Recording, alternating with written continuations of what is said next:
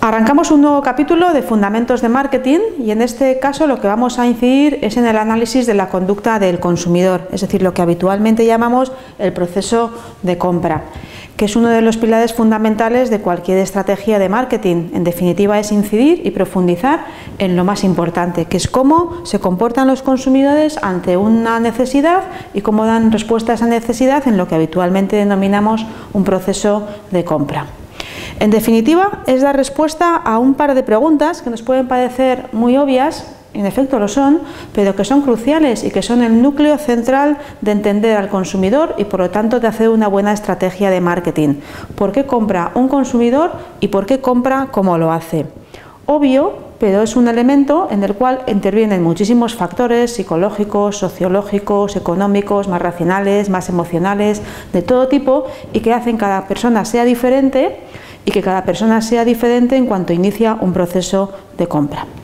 En esta unidad didáctica lo que nos hemos centrado también es intentar explicar en uno de los modelos posibles, en concreto el de Engel y otros autores, cuáles son las típicas fases de un proceso de compra.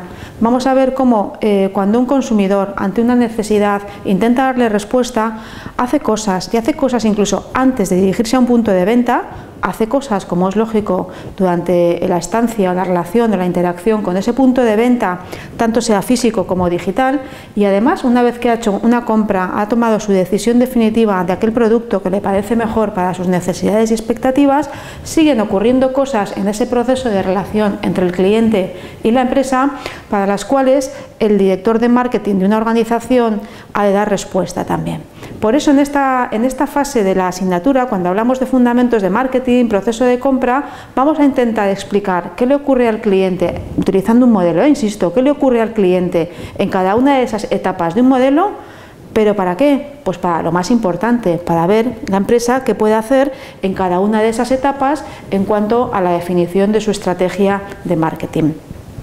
Este modelo se basa en cinco fases reconocimiento de la necesidad, búsqueda de información, evaluación de alternativas, decisión de compra y comportamiento post-compra.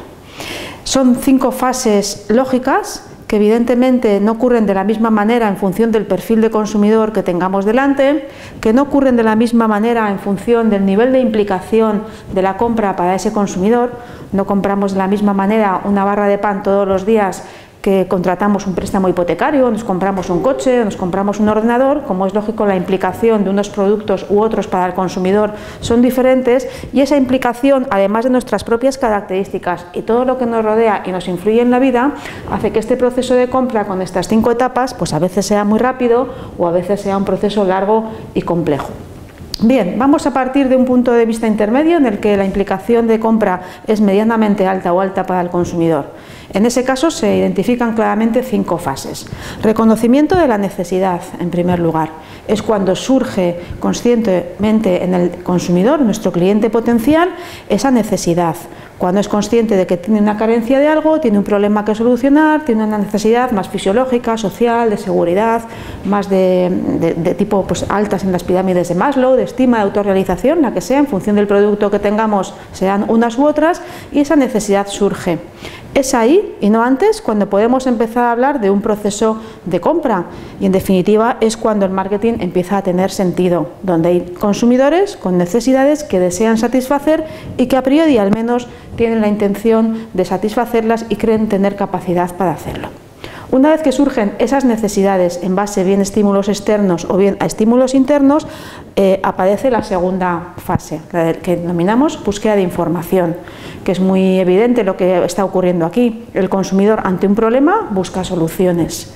En esas soluciones hay productos de muchos tipos, productos que se parecerán a los que nosotros como empresa estamos ofreciendo y otros productos a los que llamamos habitualmente sustitutivos, que aunque sean muy diferentes al nuestro, también están dando soluciones a nuestro consumidor.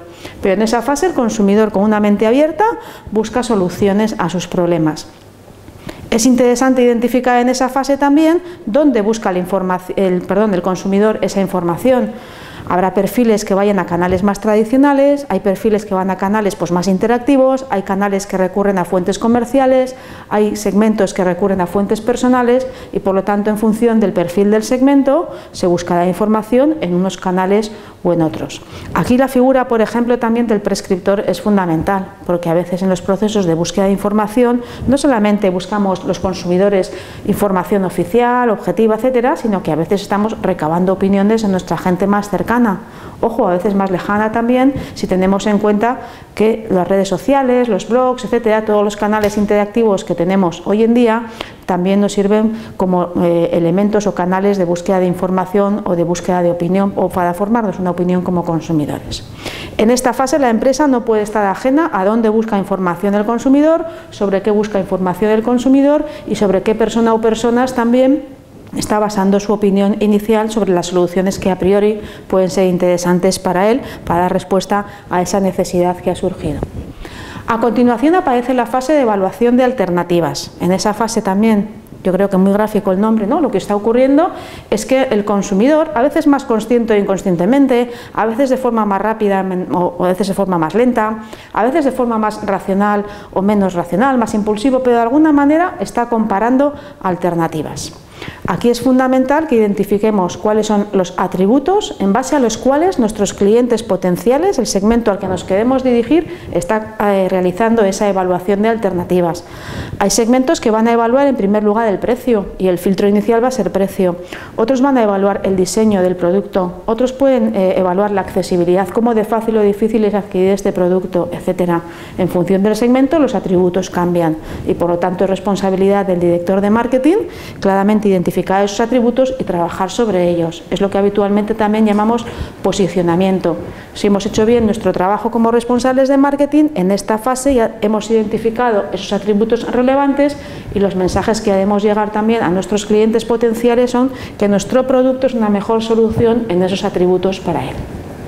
De esta fase los consumidores salen a priori con una intención de compra por supuesto, nuestra marca lo que tiene que ir haciendo es ganar etapas. En cada una de estas etapas lo que tenemos que conseguir es que nuestra marca, producto, empresa o establecimiento, depende de lo que seamos, siga avanzando en el proceso de compra con el consumidor. Llega un momento en el que ya el momento de la verdad se dice muchas veces, ¿no? El consumidor ha de tomar partido y ha de decidir si compra o no compra. Esa intención de compra de dos, tres, cuatro productos, cuatro marcas, cuatro establecimientos, lo que sea, al final se tiene que convertir en una decisión definitiva. ¿Compra o no compra? Y a ver a quién compra. Puede que compre nuestra marca, puede que compre la competencia, puede que opte por una solución alternativa, un producto sustitutivo, etcétera. Aquí es el momento de la verdad, en donde todo lo que ocurre del punto de venta pues es muy sustancial. También hay que identificar con qué personas está realizando esa última decisión de compra. La influencia de otras personas aquí es definitiva muchas veces. También a veces ocurren factores imprevistos, que ahí como es lógico para la empresa son menos controlables, pero sabemos que en las empresas también tenemos que trabajar con todos los imprevistos y con cierta incertidumbre. ¿no? Es decir, ocurren muchas cosas en esa fase que al final determinan la última decisión del consumidor en cuanto a la elección de marca o de producto que hace. Pero sabemos que en marketing ahí no acaba la relación con el cliente y por eso hay una última quinta fase que llamamos comportamiento post-compra. Ahí tenemos que evaluar que el consumidor, entre que compra y utiliza el producto, a veces hace cosas, está intentando reafirmar que su compra ha sido positiva, ha sido la mejor posible entre las opciones que tenía, está utilizando el producto y por lo tanto está empezando a forjar cierta experiencia, una mayor o menor satisfacción. A veces requiere de servicios adicionales, servicios de asistencia técnica, por ejemplo. A veces busca complementos a su compra principal. El sector de los videojuegos es clarísimo. Me compro una consola, pero si no tengo buenos videojuegos, pues la experiencia será menos satisfactoria. Es decir, ocurren muchas cosas una vez que el producto o el consumidor, mejor dicho, ha tomado una decisión sobre un producto y comienza a utilizarlo. Esta parte es fundamental, tenemos que analizar cuál es el nivel de satisfacción de ese consumidor y tenemos que trabajar desde la empresa para analizar esa satisfacción, para ver en qué elementos hay que seguir incidiendo, porque como es lógico, si estamos sobre todo en un producto de compra repetitiva, este comportamiento post-compra es el que va a influir en próximos eh, procesos de compra para la misma solución o necesidad. O a veces incluso aquí lo que nos estamos convirtiendo es en prescriptores para otras posibles personas del segmento cuando nosotros con una experiencia de compra y de utilización de un producto podamos dar nuestra opinión. Somos a la vez ahí compradores y futuros prescriptores y la empresa ahí tiene que tenerlo claro y actuar en consecuencia.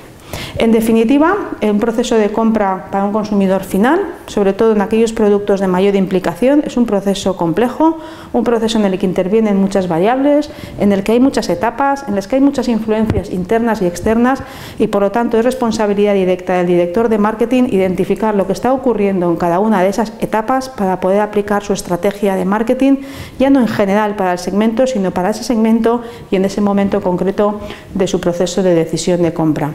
Esa es una de las claves claras de cualquier estrategia de marketing y por eso también es un concepto incorporado en lo que llamamos fundamentos de marketing. Muchas gracias.